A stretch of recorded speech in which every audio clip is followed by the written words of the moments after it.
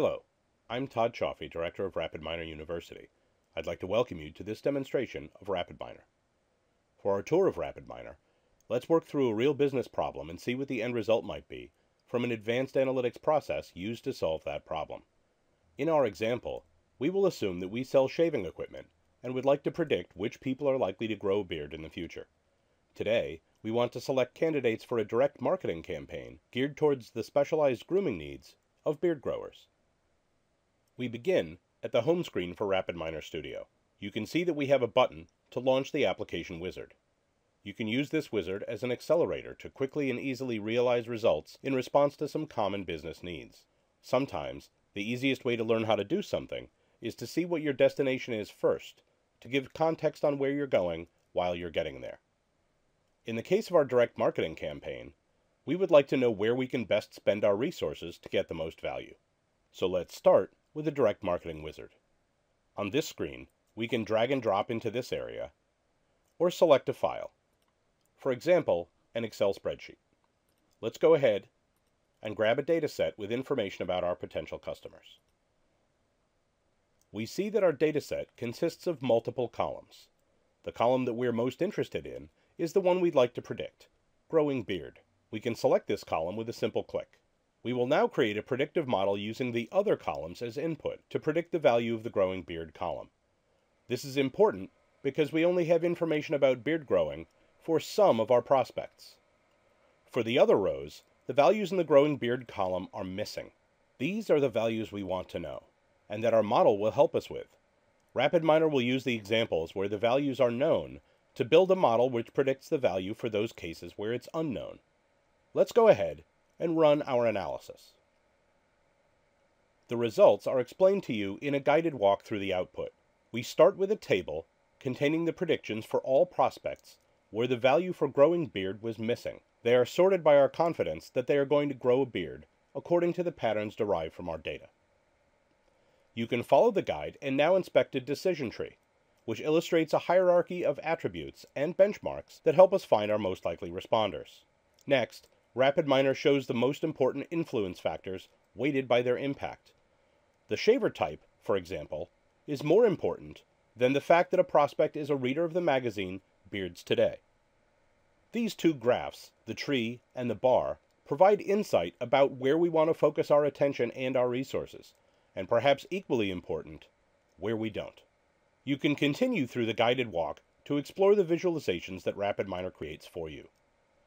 What this wizard ultimately shows you is a recommendation based on its analysis of our data. Here, it suggests that aiming our campaign at a specific smaller portion of our list would give us a response rate over double that of the entire dataset. That fits right in with our goal of getting the best ROI from our budget. This is a lot of information already, which we came by pretty easily. But our tour does not stop here. You could choose to export our results to share this information helping to launch a targeted campaign that reaches out to that segment with a projected higher response rate. Let's see how simple that is. We now have the option to create an HTML page. Let's save it and call it campaign.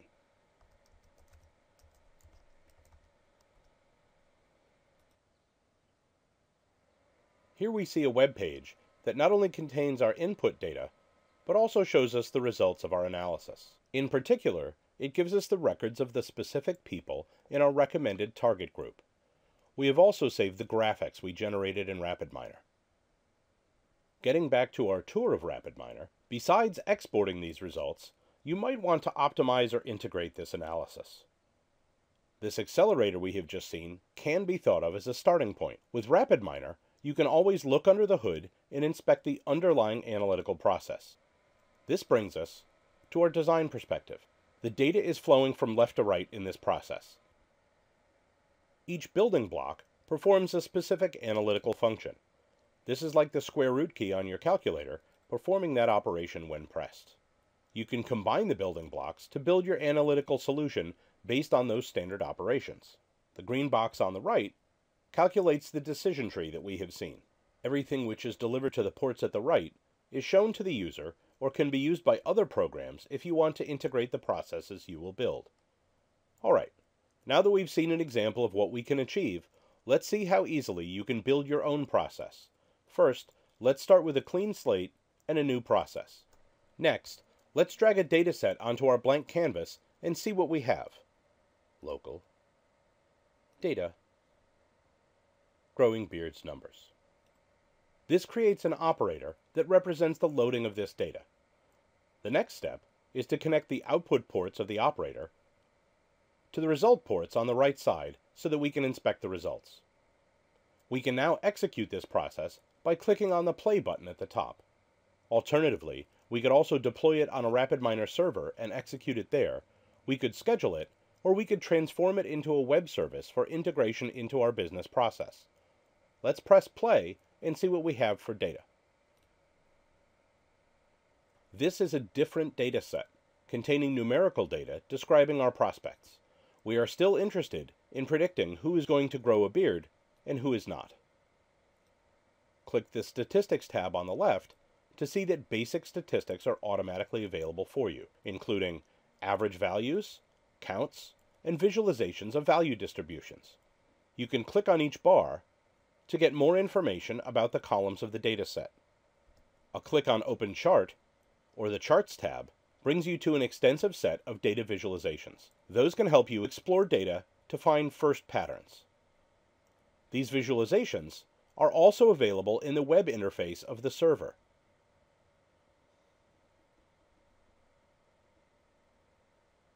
This parallel chart represents each case as a line, and your task is to differentiate between blue lines, will grow a beard, and red lines, will not. Impossible? A different visualization might give better hints.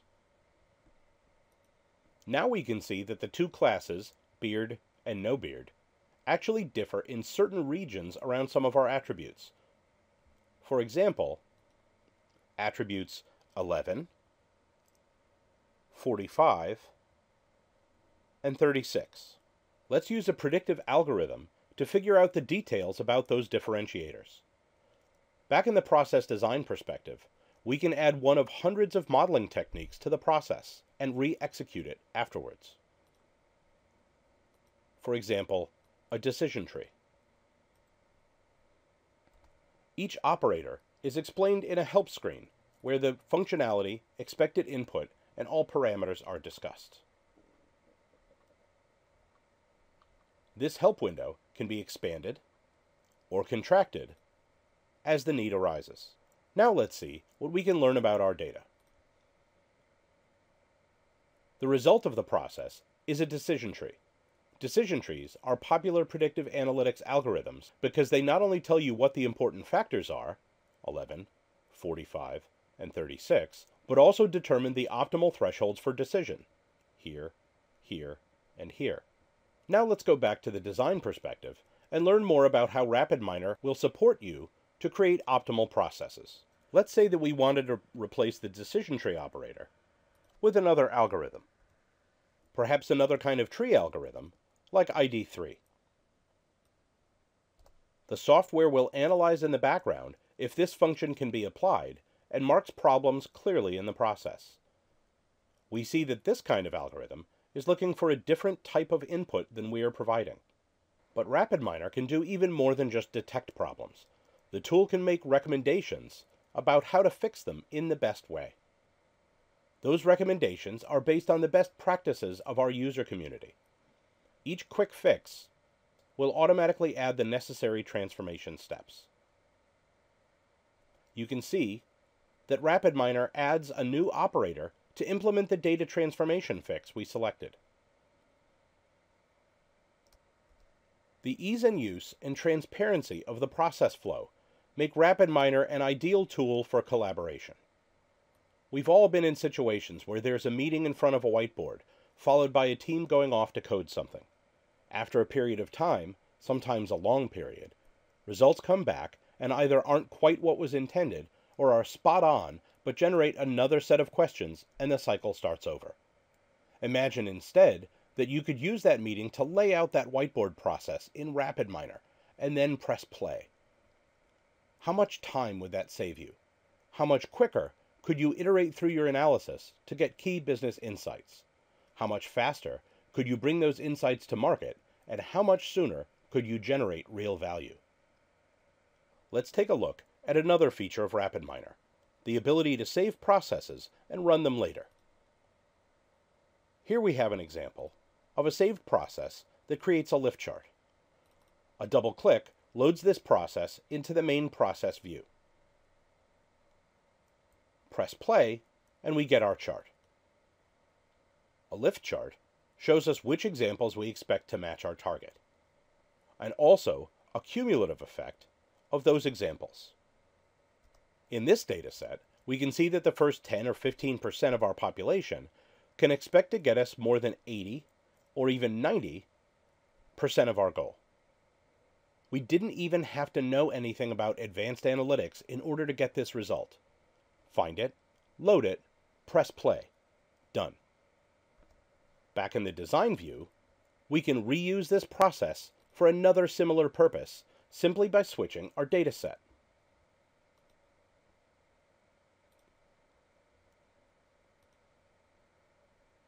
That's another added value from the clarity of RapidMiner. Since it is easy to understand how to use RapidMiner, more people in your company can do more things with it. That means you can both empower decision makers to perform simpler analysis tasks on their own and reduce the workload on your experts, leaving them time to work on the thornier problems. So how do you get people up to speed quickly? We've already seen the extensive online help built into the program, but the easiest start is actually through our animated tutorials. Just follow the steps to quickly become an expert. Follow the text balloons to learn about RapidMiner.